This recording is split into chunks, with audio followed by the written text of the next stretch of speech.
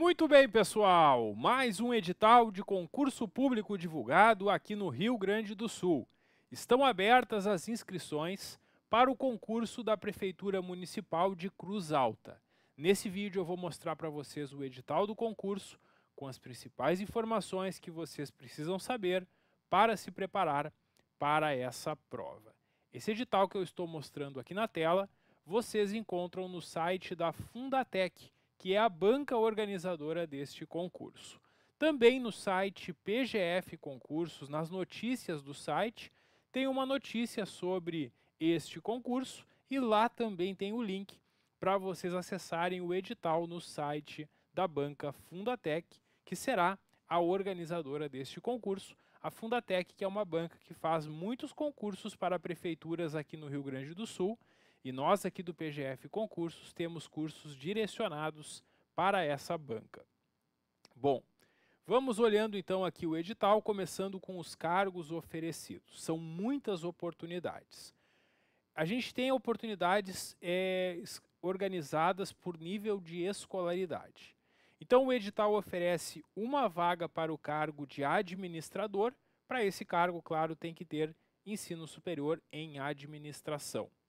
Tem o cargo de agente administrativo 3, que é um cargo que exige apenas superior completo, sem dizer em qual área. Então, todas as áreas são aceitas. Então, qualquer curso de nível superior é aceito para concorrer a este cargo de agente administrativo 3. Para este cargo são cinco vagas e a remuneração é de 2.280, esse é o valor básico, né? A esse valor podem ser acrescidas outras vantagens, como, por exemplo, o auxílio alimentação. E isso vale para todos os cargos, né? Para todos os cargos tem o auxílio alimentação, que conforme notícia veiculada pela prefeitura, está em 700 reais. Então, além desse valor aqui básico, tem mais o auxílio alimentação de 700 reais todo mês. A gente tem ainda o próximo cargo, que é agente de defesa ambiental. Para concorrer para esse cargo, é necessário ter superior completo em uma dessas áreas aqui listadas: biologia, ecologia, geologia, química, agronomia, engenharia florestal, ambiental, zootecnia, medicina veterinária ou tecnologia em agroindústria com habilitação legal. São duas vagas e para este cargo trabalha apenas 20 horas semanais. Tem o analista de sistemas também com duas vagas Arquitetos são cinco vagas para 20 horas semanais. Assistente social, para quem tem formação em serviço social, são três vagas também para 20 horas semanais. Bacharel em comunicação social. Aqui é aceito jornalismo ou publicidade e propaganda ou relações públicas. Para 20 horas também essa remuneração inicial de 2.280. Tem uma vaga para bibliotecário, tem cadastro reserva para biomédico, duas vagas para contador, uma vaga para economista, uma vaga para educador especial, cadastro reserva para educador físico, para quem tem formação em educação física, né, do bacharelado. Enfermeiro tem uma vaga e aí a remuneração é de 4.318. Uma vaga para engenheiro agrônomo, duas vagas para o engenheiro civil, uma vaga para o engenheiro elétrico, cadastro reserva para engenheiro mecânico e também cadastro reserva para engenheiro ou arquiteto do trabalho. Tem três oportunidades, três vagas né, para farmacêutico, uma vaga para fiscal avaliador. Para concorrer a fiscal avaliador, é necessário ter formação em engenharia civil ou arquitetura. Tem quatro vagas para fiscal tributário. O fiscal tributário trabalha 20 horas semanais e é necessário ter superior completo em contábeis, ou economia, ou administração, ou direito. Então, se tu tem formação em alguma dessas áreas, pode concorrer também para fiscal tributário. Tem duas vagas para fisioterapeuta, cadastro reserva para fonoaudiólogo, cadastro reserva para geólogo para médico veterinário tem duas vagas. Para museólogo tem uma vaga. Uma vaga também para nutricionista. Duas vagas para pedagogo, para quem tem superior completo em pedagogia. cinco vagas para procurador. Para procurador é necessário é, ter formação em direito e inscrição na OAB. São cinco vagas aí para 20 horas semanais. Agora tem os cargos de professor. Para os cargos de professor, a carga horária é de 22 horas semanais e o vencimento inicial é de 2.519. As oportunidades são para professor de ciência, dança, educação física, espanhol, geografia, história, inglês, matemática e português. Esses são os professores aqui de nível superior. Também tem oportunidade nesse edital para professor de educação infantil e professor de séries iniciais. Para professor de educação infantil ou séries iniciais, o requisito é ter o ensino médio, aquele na formação de magistério, aquele antigo curso normal, ou a licenciatura em pedagogia. Tem ainda neste edital oportunidades para psicólogos, são cinco vagas para o psicólogo para trabalhar 20 horas semanais.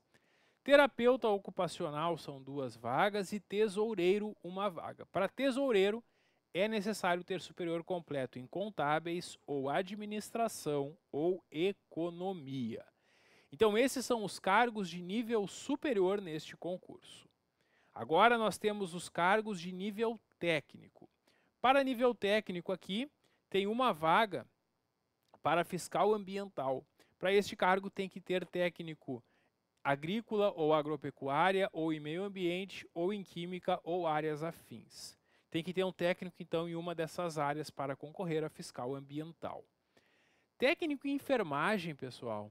Aí são oito vagas para 40 horas semanais e o técnico de enfermagem tem uma remuneração inicial de R$ 3.022. Tem oportunidades também para técnico em saúde bucal, em contabilidade, em informática, em segurança do trabalho e em topografia. Agora vem os cargos de nível médio completo. Eles chamam aqui no edital de educação básica completa, que é o nível médio completo. Então, se tu tem ensino médio completo, tu pode concorrer para um desses cargos aqui. Tem o agente administrativo 2. Para este cargo, são 12 vagas imediatas. E esse é o cargo que mais deverá ter convocações aqui é, de ensino médio, além das vagas do edital, porque é um cargo que é necessário em muitas secretarias né, da prefeitura. Então, é um cargo que geralmente tem muitas convocações, além de já ter 12 vagas imediatas.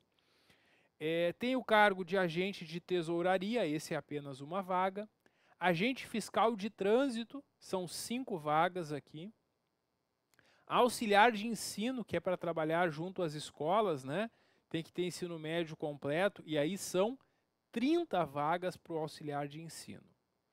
Condutor de ambulância em resgate, para esse cargo tem que ter, além da formação ensino médio, tem que ter a carteira de habilitação na categoria D e os cursos né, é, de condução de transporte de emergência. São três vagas e o vencimento de 1.295. Tem oportunidade para cuidador, essa é cadastro reserva. Para desenhista técnico tem uma vaga. Para fiscal de obras e posturas tem três vagas. E aqui, pessoal, na hora de escolher o cargo, é importante vocês escolherem de acordo com o trabalho que vocês se identificam. Para quem gosta mais de atividade interna dentro da prefeitura, o melhor é concorrer para o agente administrativo. Agora, quem gosta de fazer atividades externas, os cargos de agente de trânsito e fiscal podem ser opções melhores, né? Para quem gosta de, de um trabalho mais dinâmico, com mais movimentação, que não fica todo dia lá dentro da prefeitura, né? E aí tem três vagas para fiscal de obras e posturas e, e cadastro reserva para fiscal sanitário. Para professores, tem 10 vagas para professor de educação infantil e 10 vagas para professor de anos iniciais. A prova para esses dois cargos está prevista para ser aplicada no mesmo turno. Então não é possível se inscrever nos dois. Tem que escolher. E aí eu recomendo, né, como são 10 vagas em cada, eu recomendo que vocês escolham de acordo com a aptidão de vocês e também de acordo, é claro, com a carga horária que vocês estão dispostos a trabalhar. Porque o professor de educação infantil trabalha 40 horas semanais e naturalmente recebe mais, né? que o professor de séries iniciais que trabalha numa carga horária menor. O professor de educação infantil tem um vencimento de R$ 4.580. Já o professor de séries iniciais, esse vai ter um vencimento de R$ 2.519, porque vai trabalhar 22 horas semanais. Então aqui, pessoal, eu recomendo que vocês escolham de acordo com a preferência de trabalho e principalmente com a carga horária que vocês terão disponibilidade, porque o professor de educação infantil vai ter que estar lá 40 horas por semana na prefeitura. Muito bem, então esses são os cargos de ensino médio. Tem ainda os cargos que exigem ensino fundamental.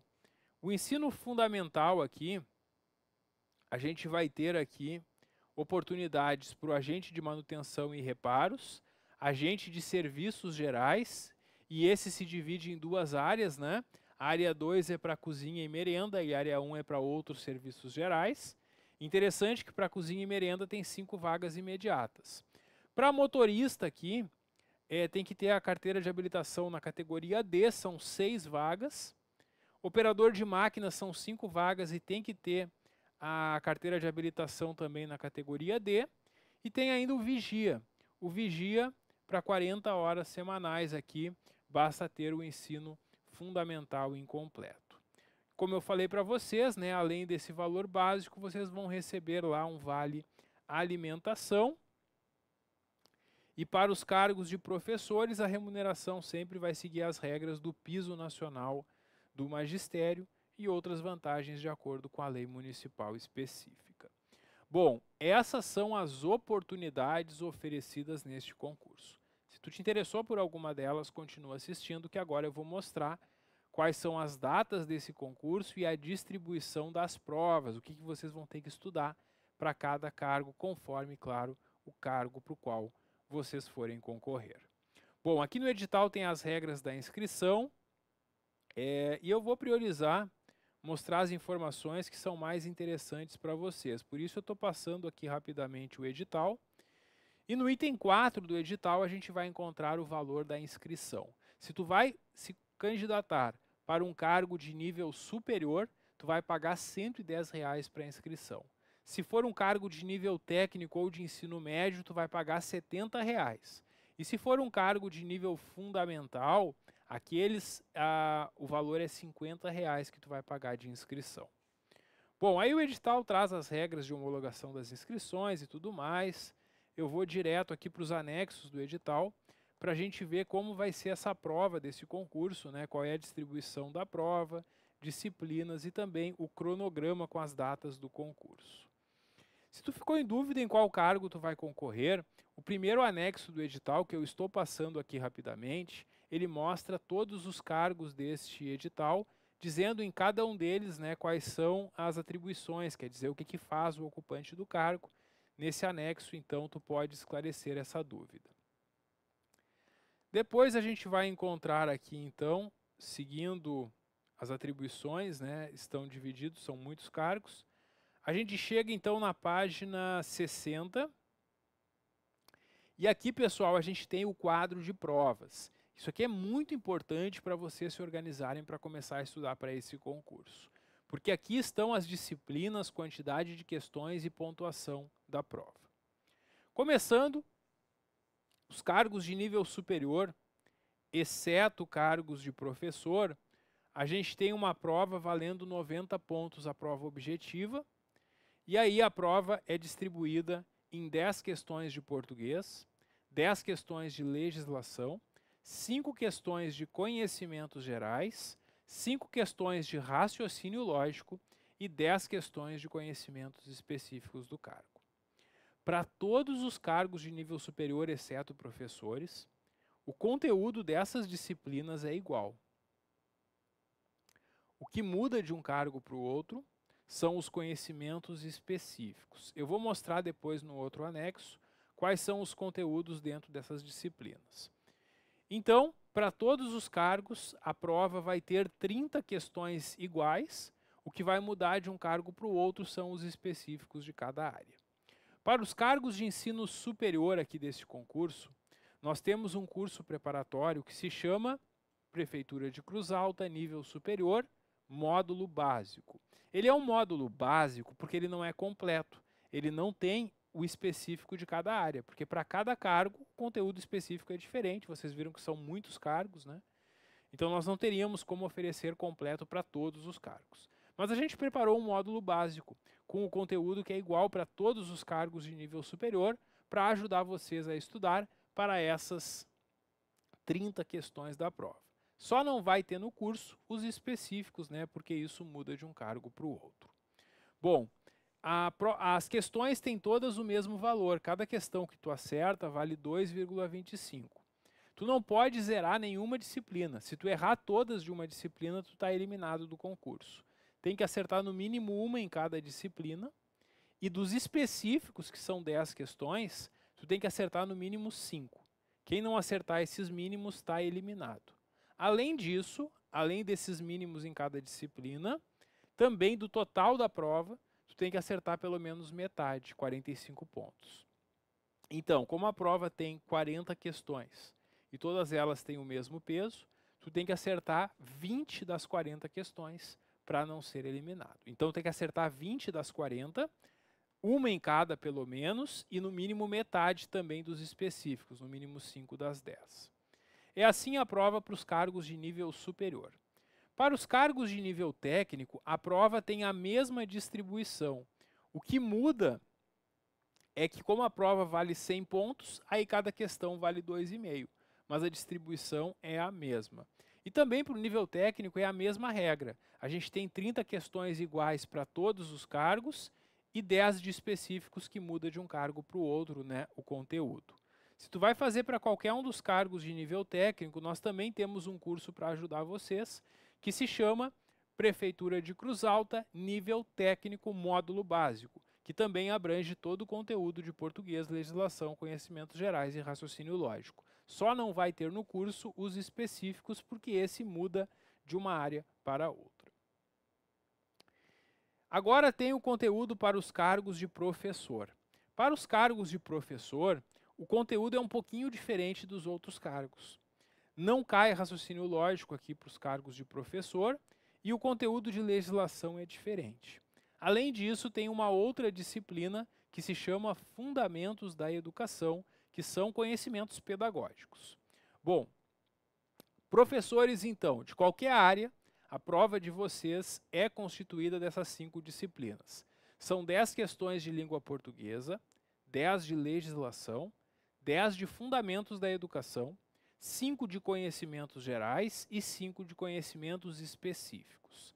Para todos os cargos de professor, então, a gente tem uma prova idêntica, né? nas 35 questões iniciais. O que vai mudar de uma área para outra de professor são os específicos, que são cinco questões. Se tu vai fazer esse concurso para professor de educação infantil, ou professor de séries iniciais, ou professor de matemática, nós temos o curso completo, que abrange todo o conteúdo para esse cargo.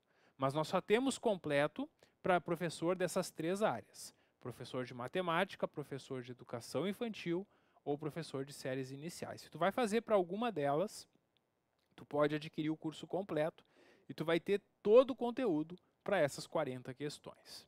Se tu for fazer para professor de outras áreas que não essas que eu mencionei, aí nós temos um curso chamado Módulo Básico para os cargos de professor aqui da Prefeitura de Cruz Alta, que abrange todo o conteúdo dessas 35 questões, só não vai ter os específicos. Para os professores, é, tem que acertar no mínimo uma em cada disciplina, tem que acertar no mínimo duas das cinco de específicos e no mínimo metade também da prova. E a prova de professores vale 90 pontos, porque tem outros 10 pontos da prova de títulos.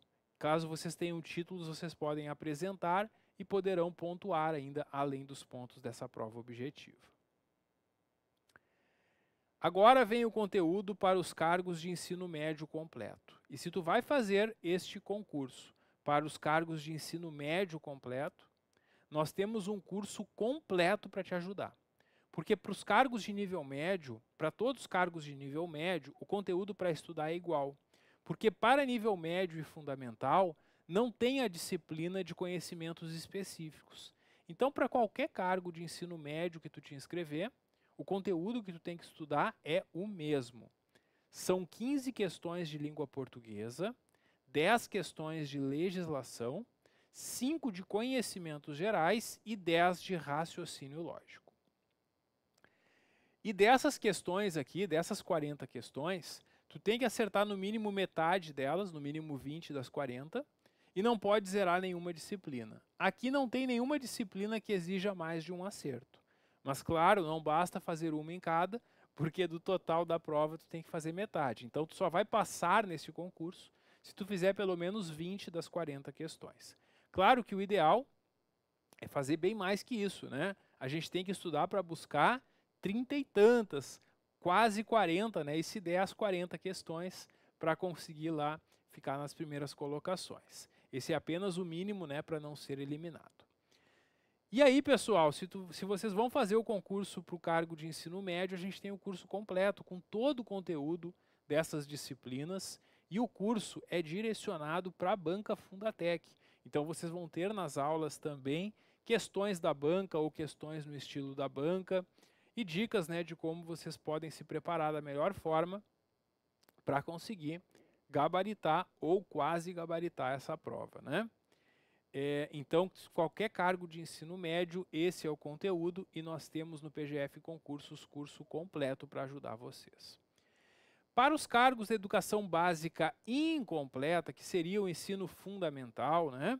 Aqueles cargos de ensino fundamental, a prova também não tem específicos. São 15 questões de português, 10 de legislação 5 de conhecimentos gerais e 10 de raciocínio lógico. Para esses cargos de ensino fundamental, nós também temos o curso completo. E no curso completo vocês têm todo esse conteúdo. O conteúdo de ensino fundamental é um conteúdo mais simples do que de ensino médio. Por isso a gente tem um curso para ensino fundamental e outro para ensino médio. Porque vocês podem perceber que o nome das disciplinas é o mesmo, né? Só que muda o conteúdo. Nas disciplinas de legislação e conhecimentos gerais, o conteúdo é igual. Mas em português e raciocínio lógico, o conteúdo de ensino fundamental é mais simples, é menor do que o conteúdo de ensino médio. Por isso que a gente tem um curso diferente.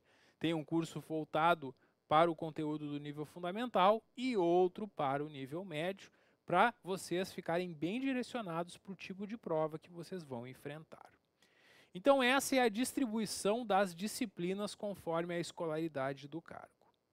Agora, a gente vai ver aqui no edital o cronograma. O edital do concurso foi publicado hoje, dia 5 de julho. Hoje mesmo já iniciaram as inscrições, né? E vocês podem até o dia 5 de agosto se inscrever para esse concurso no site fundatec.org.br. Nesse site também vocês vão encontrar esse edital, como eu comentei com vocês. Que dia é a prova? Isso é muito importante para vocês se organizarem para estudar, né? A prova deste concurso será no dia 22 de setembro. 22 de setembro. Então tem aí praticamente todo mês de julho, todo mês de agosto e quase todo mês de setembro, né? A gente tem aí praticamente então dois meses e meio até essa prova. E nesse tempo dá para fazer um bom estudo para chegar lá no dia 22 de setembro em condição de ter um bom resultado. Para isso, claro, é importante que vocês organizem o dia a dia de vocês, para que vocês consigam assistir às videoaulas, consigam fazer as leituras de revisão e também treinar com as questões. A gente disponibiliza muitas questões aqui, a gente exagera nas questões para que vocês realmente treinem bastante e aprendam o conteúdo e cheguem lá na prova né, com uma boa condição de conquistar essa vaga. Então esse é o cronograma aqui do concurso. Depois tem as outras etapas, né, para quem for aprovado na primeira, conforme o cargo, né, aí tem ali as datas também. A gente tem aqui os turnos de prova. Então, com esses turnos de prova, tu consegue saber se tu pode ou não fazer para mais de um cargo. Porque Tu só pode se inscrever para mais de um cargo se as provas forem em turnos diferentes. Se a prova for no mesmo turno, não tem como concorrer para mais de um cargo.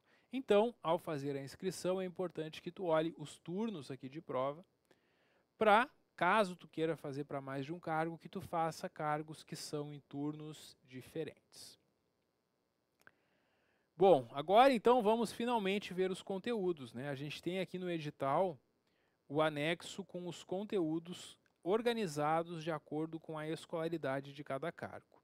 Isso está na página 71 do edital. Primeiro, na cor amarela, vem o conteúdo para nível fundamental.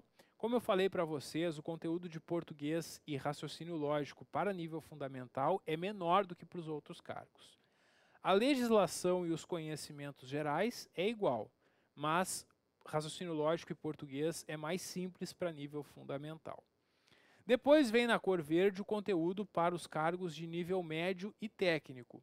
Aí nós temos na língua portuguesa um conteúdo já mais completo prova de português da Fundatec começa sempre com um texto, algumas questões de interpretação do texto e depois questões mais gramaticais.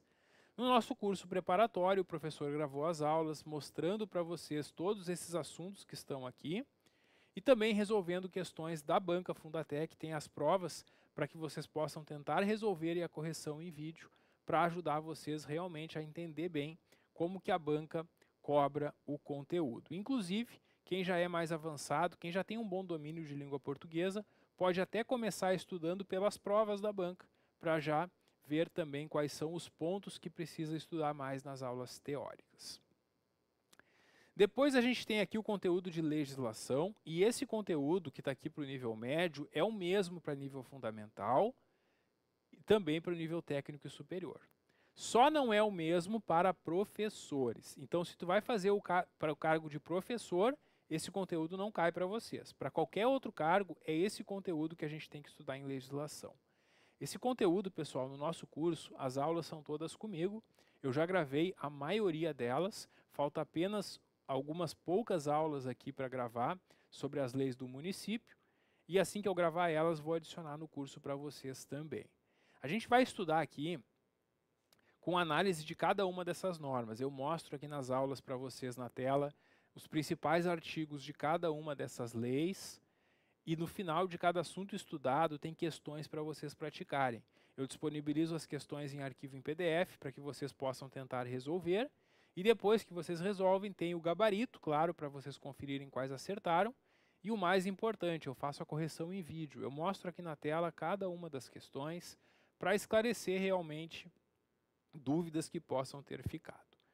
É, eu tenho certeza que vocês estudando dessa forma, vocês vão ter toda a condição de gabaritar ou quase gabaritar as questões nessa prova. Qual é o conteúdo, pessoal? A gente tem aqui quatro leis municipais, quatro leis aqui do município de Cruz Alta e outras normas estaduais e federais.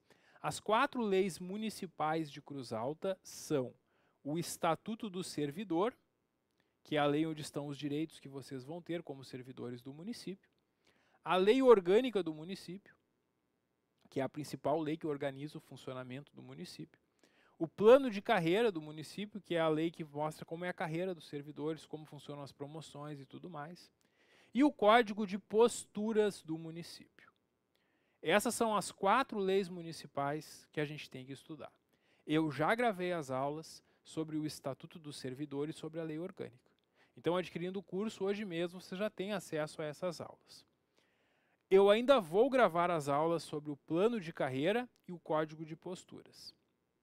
Eu coloquei, inclusive, na descrição do curso, no site PGF Concursos, quais são as datas que eu vou gravar e adicionar essas aulas para vocês. E assim que eu adicionar as aulas, vocês vão ter acesso à apostila com a legislação atualizada e esquematizada, questões para praticar no final e os vídeos com as aulas e a correção das questões. Os demais conteúdos que eu vou mostrar agora, eu já gravei todas as aulas, porque é um conteúdo que a Fundatec sempre bota nos seus editais. Então eu já tenho todas as aulas gravadas com questões e correção das questões em vídeo também. Os demais assuntos são os estatutos da igualdade racial, tanto o estadual quanto o nacional, e da Constituição Federal, os artigos 1 até o 144 e do 193 ao 232. Isso da Constituição Federal, né? Esses artigos. Da Constituição Estadual, eles não dizem quais artigos. Como a Constituição Estadual também é bem extensa, eu não coloquei toda ela, né, porque senão a aula ia ficar cansativa. Mas eu separei os, os artigos mais importantes e coloquei para vocês neste curso. Também temos aqui a Lei de Improbidade Administrativa, que é a Lei 8429 de 92, a Lei Maria da Penha e o Decreto Estadual 48598, que é um pequeno decreto que apenas diz que nos concursos aqui no Rio Grande do Sul devem exigir no conteúdo o estudo da Lei Maria da Penha e dos Estatutos da Igualdade Racial, como né, esse edital fez. Então esse é o conteúdo de legislação que vocês precisam estudar. E esse para todos os cargos, né, exceto professores. O próximo conteúdo, que também é previsto para todos os cargos, e este inclusive para professores, é o conteúdo de conhecimentos gerais. Conhecimentos gerais são conhecimentos sobre o município e sobre atualidades. Esse conteúdo ele envolve primeiro alguns assuntos mais ligados ao próprio município de Cruz Alta, cultura popular, personalidades, pontos turísticos, organização política e territorial, divisão política, região administrativa, regionalização do IBGE. E além desses assuntos sobre o município de Cruz Alta, também vocês têm que saber as principais informações sobre o Brasil, sobre o estado do Rio Grande do Sul. E ainda tópicos atuais internacionais, nacionais, estaduais ou locais. Atualidades sobre todo o mundo. Bom, aqui, pessoal, para vocês estudarem esse conteúdo, que vocês podem perceber que é bem amplo, né? Tem muita coisa que pode ser perguntada. O professor Guilherme Daré, que é professor de Geografia e Atualidades aqui no PGF Concursos, preparou a aula trabalhando os principais assuntos sobre o Brasil, sobre o Rio Grande do Sul e sobre atualidades no Brasil, no mundo e aqui no estado. Além disso, agora que saiu o edital, o Guilherme vai preparar aulas sobre o município de Cruz Alta, trazendo todas essas informações para você sobre o município de Cruz Alta. Como o Guilherme já trabalha há bastante tempo aqui preparando candidatos para essa prova da Fundatec, ele já sabe é, o que, que a Fundatec gosta de perguntar mais. Então ele organizou esse curso trazendo para vocês os assuntos que ele entende mais prováveis é, em prova. E dando dicas também, claro, de como vocês podem estar atualizados sobre esses assuntos. Agora a gente tem aqui o conteúdo de raciocínio lógico, e esse conteúdo aqui, ele é o mesmo para nível médio, técnico e superior. Lembrando que para os cargos de professor não cai esse conteúdo. Aqui, pessoal, são aquelas questões com sentenças lógicas, né? Eles trazem um problema na questão e perguntam qual é a solução lógica. Para que vocês consigam resolver essas questões, primeira coisa, vocês têm que saber o tipo de questão que cai em prova, né? Por isso, é, a gente vai gravar um curso direcionado aqui para a Fundatec, mostrando para vocês como que esses assuntos estão sendo perguntados nas provas da banca Fundatec. Vocês vão ter toda essa abordagem teórica sobre esse conteúdo e ao longo das aulas também o professor vai trazer para vocês questões da banca, questões recentes deste ano, do ano passado, para que vocês saibam realmente como que isso está caindo nas provas da Fundatec e consigam né, estudar de uma forma bem direcionada para saber resolver as questões lá no dia da prova. Esse é o conteúdo de raciocínio lógico. Interessante que este edital não trouxe conteúdo de matemática. Teve outros editais aqui da Fundatec que ela traz matemática e raciocínio lógico. Aqui, para facilitar então a vida de vocês, não cai matemática, é só raciocínio lógico mesmo, que são esses assuntos envolvendo essas proposições.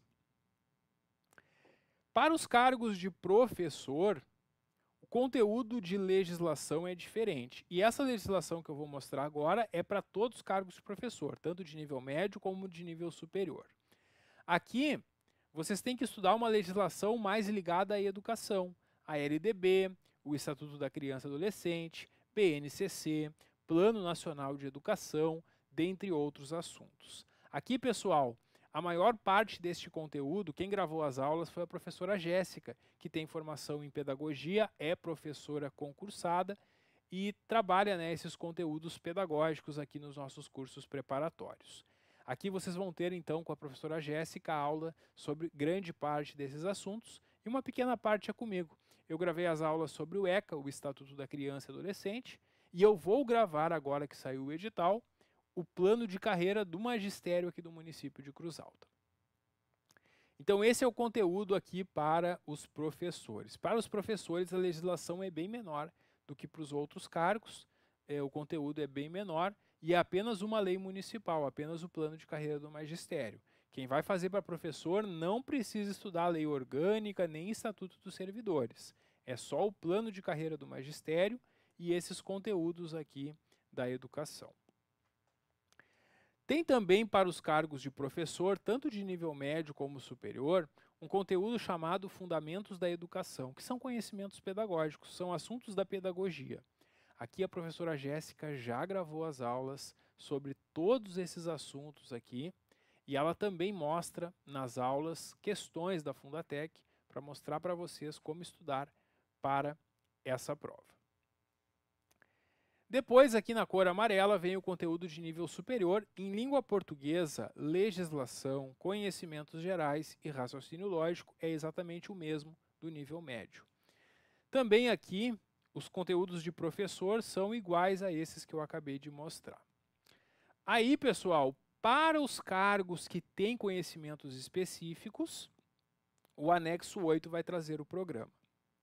Lembrando que os cargos de ensino fundamental e médio não tem essa disciplina.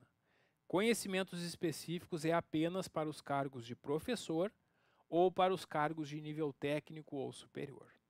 E aí, conforme o cargo para o qual tu te inscrever, caso tu faça para professor ou nível técnico ou superior, tu tem que vir aqui olhar o conteúdo que tu vai ter que estudar para aquela disciplina de conhecimentos específicos. Muito bem, pessoal, essa é a nossa análise aqui deste edital, que vocês perceberam que é enorme. E nós temos então cursos preparatórios para ajudar vocês. Para professores de séries iniciais, educação infantil e matemática, temos o curso completo. Para os cargos de ensino médio e ensino fundamental, também tem curso completo. Quem vai fazer para nível técnico ou nível superior ou professor de outras áreas que não aquelas que nós temos o completo, a gente tem um módulo básico que tem aqueles conteúdos que são comuns a todos, que vai ajudar também vocês a estudar para este concurso. Além disso, também é possível fazer os cursos por disciplina. Se tu não precisa de um curso completo, tu pode adquirir somente o nosso curso de cada uma dessas disciplinas que estão aqui no edital pode adquirir somente português, somente raciocínio lógico, somente a legislação, somente conhecimentos gerais, de acordo com a tua necessidade. Então é isso, pessoal. Essa é a nossa análise do edital. Os cursos já estão disponíveis no site PGF Concursos e eu espero vocês para juntos fazermos uma grande preparação para vocês, assim como muitos alunos nossos, conquistarem também a vaga no concurso aqui agora da Prefeitura de Cruz Alta. Espero vocês.